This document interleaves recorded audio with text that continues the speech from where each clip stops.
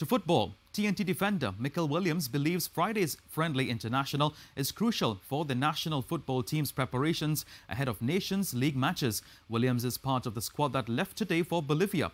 Kent Fuentes has more.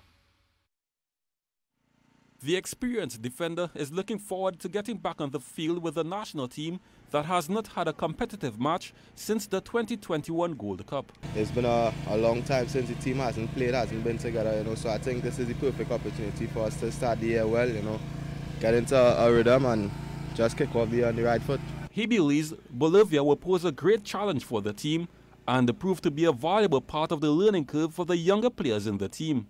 I think Bolivia is a, a great team, you know, they're, they're um, ranked pretty decent in the world of football right now, you know, so I think it's going to be a good match for us. It's going to be a tough match. I think we have to, to just go there, be organized, keep a good shape and, and work.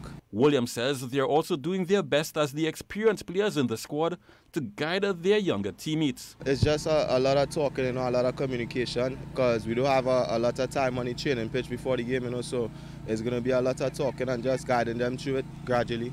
And the man that once played in the local leagues would like to see one back up and the running to help the local based players stay sharp. And it's crucial that we have um, the local league back running again, you know, so players who, who don't have an opportunity to play outside, you know, could still be active playing and getting match fitness, I think is, is crucially important. Kent Fuentes, TTT Sports.